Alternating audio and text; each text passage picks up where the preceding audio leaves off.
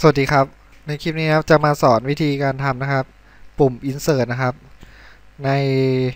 ภาษา VB ครับ โดยใช้ Visual Studio 2010 นะครับ แล้วก็ถ่ายข้อมูลเราจะใช้ MySQL Server นะครับ โอเค เรามาดูกันต่อ หลังจากที่หลายๆคนอาจจะไปดูวิธีการทำมาจาก Excel กันนะครับคราวนี้วิธีทำจาก SQL เนี่ยมันทำยากบางคนรู้สึกว่าเฮ้ยมันยาก เพราะว่า ไม่รู้มันทำยังไงที่จริงแล้วมันทำง่ายมากนะครับ เดี๋ยวเรามาดูกันดีกว่าว่าทำยังไง อย่างแรกเรามาสร้างฟอร์มมันก่อน ก็เลือก Visual Basic นะครับ แล้วก็ Window Form อ่าเรามาสร้างฟอร์ม จริงๆ นอกจากคลิปนี้ที่ทำ Insert แล้วแล้วก็มีล็อกอินมีอัปเดตมี Delete นะครับ ก็ลองติดตามที่ Channel ดูนะครับ แล้วก็ค้นหาคลิปดูเอานะครับ โอเคเรามาทำปุ่มก่อน ชัวร์ปุ่มมีสักสองปุ่มพอ กล่องมีสัก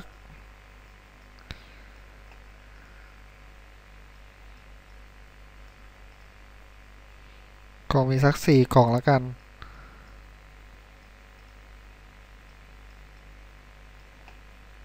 โอเค ตัวนี้ก็ปรับให้มันอยู่ตรงกลางซะ แล้วก็เลือกลาเบลมา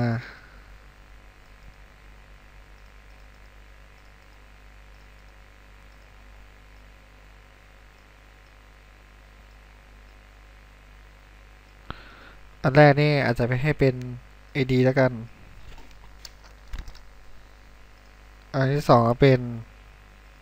ชื่อแล้วกันอ่าเป็นชื่อจริง อันนี้ก็เป็นนามสกุล ส่วนนี้ก็ให้เป็นอ่าเป็นอายุ ปุ่มแรกให้เป็นปุ่มอะไร insert ปุ่มนี้ให้เป็นปุ่ม cancel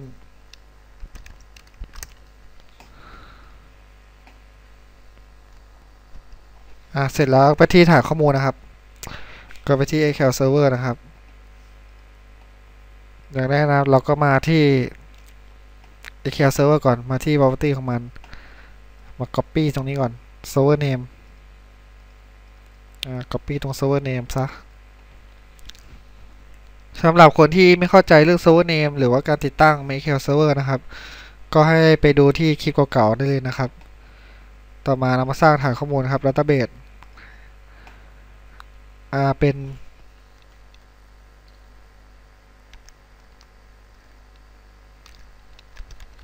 ใส่ข้อมูล student แล้วกัน โอเค เรียบร้อย เราสร้างเทเบิลใหม่ขึ้นมา ก็จะมีอะไรบ้าง มี id ที่เป็น int แล้วก็เลือกเป็น identity แล้วก็เป็น auto increment ด้วยทีละหนึ่ง มี user แล้วก็มีอะไร first name มี last name แล้วก็มีอายุ โอเค เรียบร้อย อันนี้ชื่อ table ว่า std แล้วกัน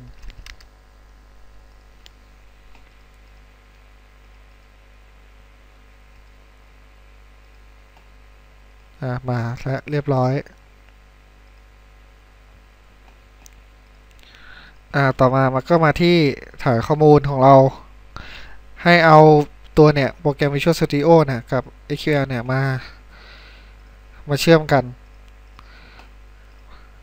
ก็มาที่ Database นะครับ ที่ Data แล้วก็ Add New Data Source เลือก Database เลือก Dataset กด New Connect ตรงนี้เราก็เช็คให้เป็นอะไร SQL Server เพราะเราต่อกับ SQL Server โดยตรง ไม่ได้เป็นไฟล์ ไม่ได้เป็น Excel เป็น SQL Server เห็นไหมเสร็จแล้วกดโอเค ตัวนี้เราก็กรอก server name ลงมา กด test โอเค test เรียบร้อย สมบูรณ์ ถ้าใครไม่ได้ก็ไปเช็คที่ server name server name ที่ตรงนี้ เห็นปะ win 7ขีด pc ก็คือชื่อเครื่อง ตามด้วย ms sql server 2012 เนี่ยก็หมายความว่า มันเป็นตอนที่เราลงโปรแกรมอะเราติดตั้งชื่อไว้ว่าไง แล้วก็ตามชื่อนั้น โอเค เสร็จแล้วก็เทคอนเน็กเสร็จแล้วถ่ายข้อมูลเราชื่ออะไร student เมื่อกี้ ถูกไหม กด advance เราจะได้โค้ดมา โอเค อันนี้เรียบร้อย แล้วก็จะกด cancel แล้วกดโอเคก็ได้อะกดตัวว่ากดโอเคลงไป มันก็จะได้โค้ดตรงนี้มา ก็เหมือนกัน กด next กด next ตัวนี้ก็ติ๊กถูกให้หมดเลย กด finish ถ่ายข้อมูลก็จะวิ่งมาที่นี่นะเห็นไหม Data Source ก็ขึ้นมาตรงนี้ โอเค เสร็จแล้วทำไงต่อ ต่อมาก็มาเขียนโค้ดกัน เราจะเพิ่มจากตรงนี้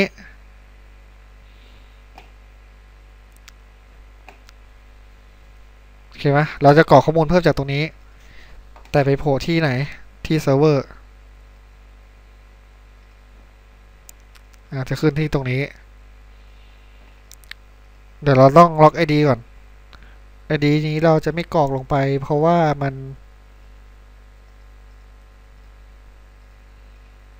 มันจะเพิ่มที่หนึ่งของฐานข้อมูลอยู่แล้ว โอเค คราวนี้เราก็มาเพิ่มที่อะไรปุ่มอะไรปุ่ม insert ก็เราไปคลิกที่ปุ่ม insert เพราะว่าปุ่ม insert ก็เป็นถูกกระทำถูกไหมเราจะเพิ่มที่ปุ่มนี้อย่างอื่นเรามาเพิ่ม import ตรงนี้ก่อน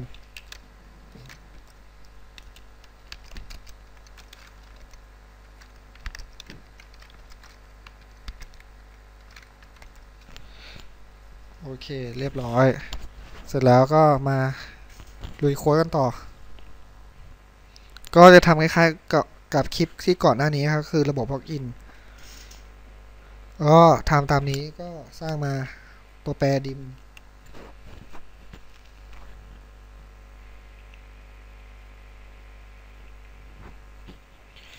ไอตัวแปรดิมเนี่ย เราจะสร้างดิม สร้างไปก่อน ดิมคอนแอด new sql connect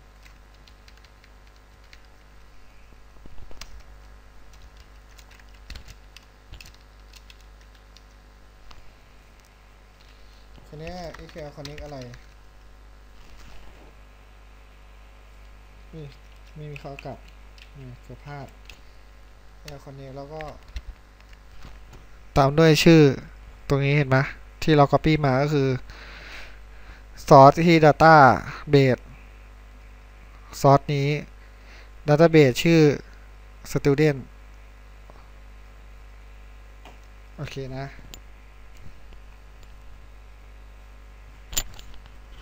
คราวนี้ไปต่อ สร้างฟังก์ชันใหม่ขึ้นมา ครับีบซับอ่า xq แล้วกัน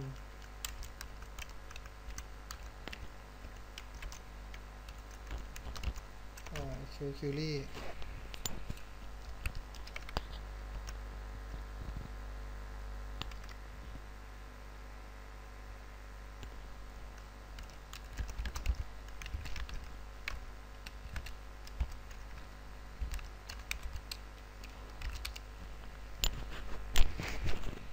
อ่าพิมพ์ตามนี้เลย dim add command เออไม่ใช่ dim dim command แล้วก็ add new sql command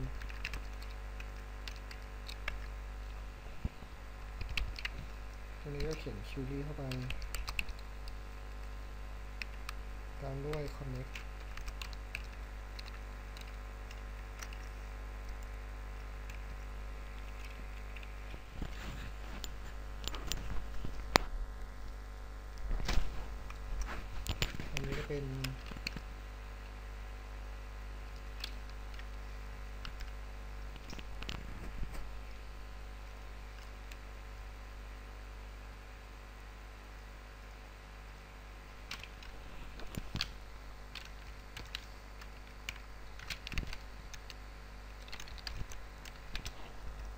ตรงนี้เปลี่ยนให้เป็น connection แล้วก็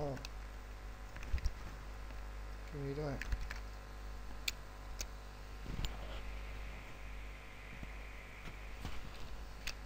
ต่อมาก็ command ดอกเป็น non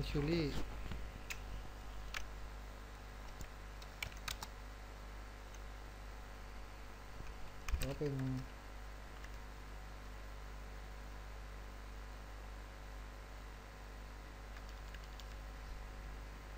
ว่าตรงนี้เราใส่ผิดตรงนี้เราใส่เขาใส่เป็นควันไป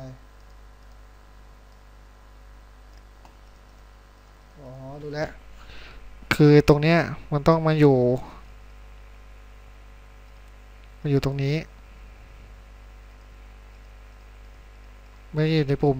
ไม่ได้อยู่ในปุ่มตกลงอยู่ข้างนอกอยู่ตรงฟอร์ม เพื่อจะได้เรียกใช้ ตัวแปรมันมาได้ โอเค ตามนี้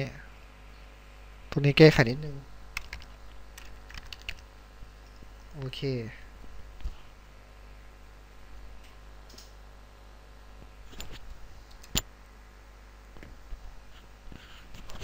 ตัวนี้ก็เป็นคอนแบบโค้ด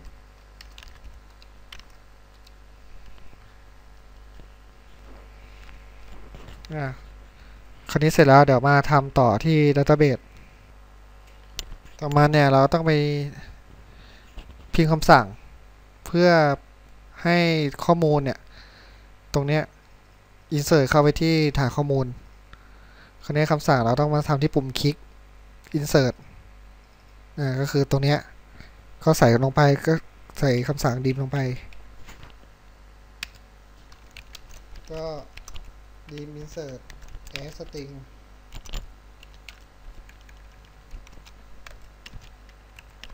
เท่ากับคราวนี้คำสั่งจะยาวมาก ก็มี insert อะไรก็ว่านไป แต่คราวนี้เรารัดได้โดยการที่มาที่ตรงนี้ อ่ามาที่ฐานข้อมูล student table แล้วก็มาที่ตรงนี้ เห็นไหม มาที่ table อะไร std ของเราที่เราสร้างไว้ เสร็จแล้วก็มาที่ script table add แล้วก็ insert เห็นไหมเราสามารถสร้างคำสั่งสคริปต์ตรงนี้ได้มา script table add insert to แล้วก็ clipboard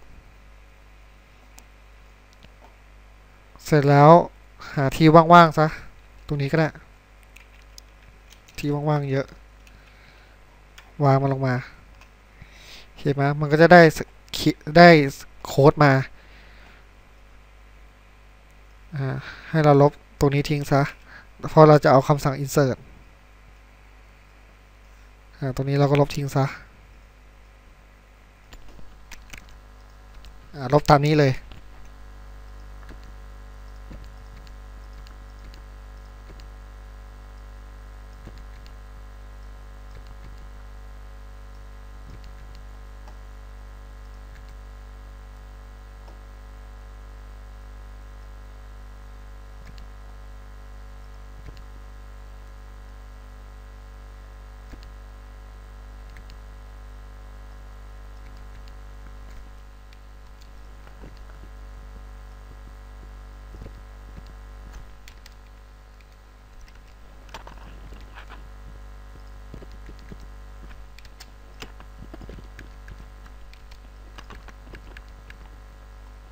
อ่า ก็ประมาณนี้แหละมั้ง ลองเทสดูตรงนี้เราก็ตัดคัด เอามาวางไว้ตรงนี้ตรงนี้แยกหน่อยตรงนี้โอเค มาวางตรงนี้ insert โอเค แค่นี้แหละ เรียบร้อย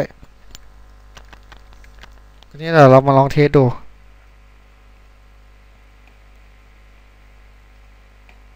เปิดฐานข้อมูลไปด้วย อ่า ID ใช่ไหม มันเป็น auto increment ก็คือมันจะ auto อยู่แล้ว เราไม่ต้องไปใส่มัน first name last name แล้วก็ age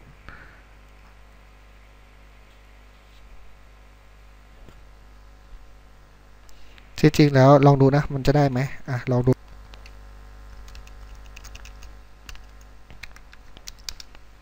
insert ลงไปปึ๊บเกิดอะไรขึ้น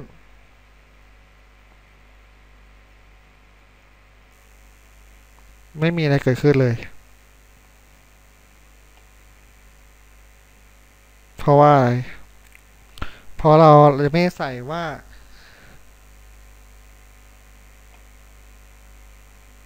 นี่คือ text box หนึ่ง text box สองใช่ไหมอันนี้คือ text box สอง มีค่าเท่ากับอะไร first name ตรงนี้ โอเค เราต้องใส่ค่า text box ก่อนที่ตรงนี้ อะ ให้เราพิมพ์คำสั่งแบบนี้ มันมีแค่สามช่องถูกปะโอเค เกินเกิน ก็พิมพ์ ฟันหนูสองอัน พิมพ์ซิงเกิลโคดอยู่ข้างนอกฟันหนู แล้วก็พิมพ์ตัวแอน เป็นวรรคแบบนี้ด้วย เสร็จแล้วก็พิมพ์ตรงนี้ตรงกลางเป็น text box สองถูกปะ dot text โอเคแล้วก็ copy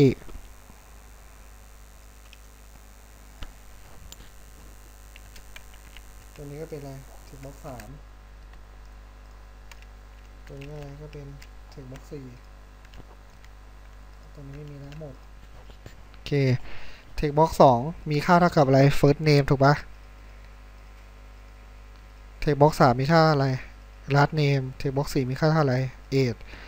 แต่ text box หนึ่งไม่มี ถูกปะก็ไม่ใส่ลงไป อ่าคราวนี้ลองดูใหม่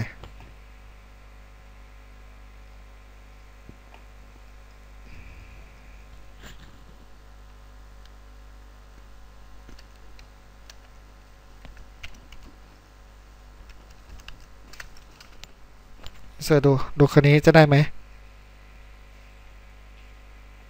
อ่าเสิร์ชลงไปแล้วคนนี้เรามารีเฟซถ่ายข้อมูล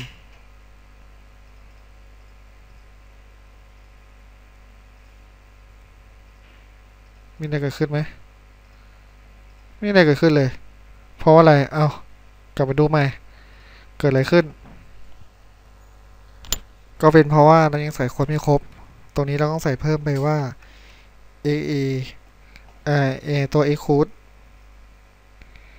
query แล้วก็ใส่ฟังก์ชันไปคือ insert ตรงนี้ โอเคถึงจะครบ คราวนี้เราเล่นดู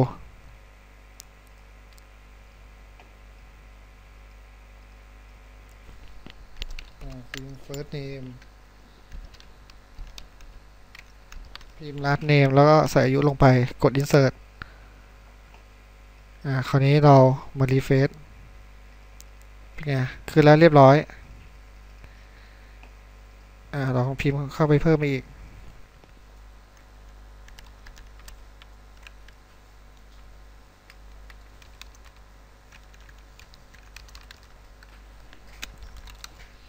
อ่า insert ลงไปบ โอ เคเห็นไหมเรียบร้อย อ่าคราวนี้ได้แล้ว insert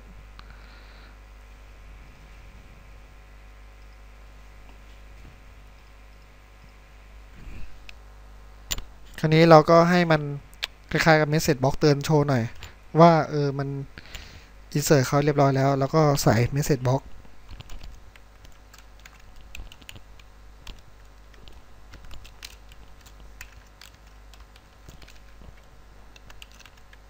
เขาบอกว่าบันทึกข้อมูลสำเร็จแล้วโอเคบันทึกข้อมูลแล้ว เพิ่มใหม่ๆ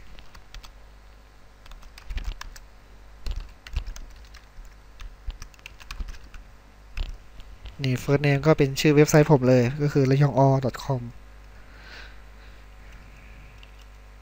ด insert ลงไป เห็นไหมบันทึกข้อมูลแล้ว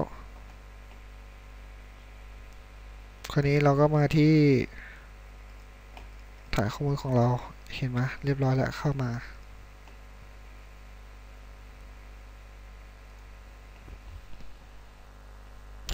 เมื่อกี้เราบันทึกฐานข้อมูลใช่ไหมบันทึกข้อมูลแล้วข้อมูลก็เก่ายังค้างอยู่ คราวนี้เดี๋ยวเราจะมาเคลียร์ข้อมูล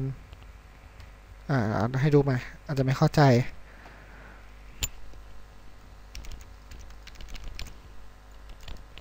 insert ไปปุ๊บบันทึกแล้ว ข้อมูลก็ยังค้างอยู่เห็นไหมเราก็จะเคลียร์เคลียร์ข้อมูลพวกนี้ออกด้วย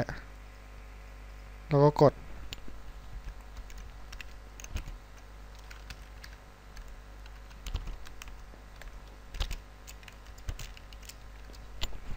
เห็นไหมก็คือใช้คำสั่ง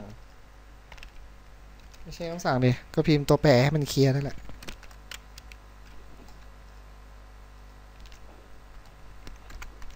ก็เขียนให้ช่องมันว่างเห็นไหมก็คือกล่องสองกล่องสามกล่องสี่ถ้ามีค่าว่างอ่าดูใหม่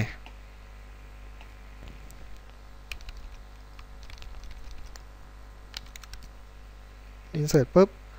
กดตกลงเห็นไหมโชว์แล้วก็คำสั่งต่อมาก็ให้มันว่าง